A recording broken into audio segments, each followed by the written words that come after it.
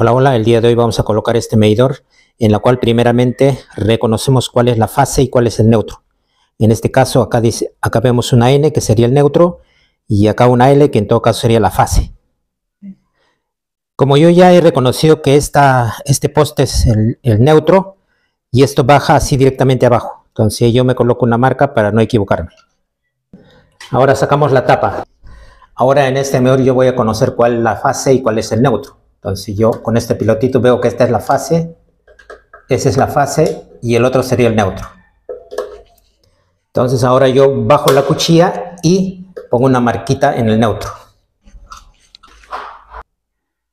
Ya como yo he detectado que esto es la fase, mediante un cable positivo lo conecto a la fase del medidor y el neutro sigue su línea. Ya yo aquí usaría ya la luz pasando por el medidor. Entonces yo voy conectando la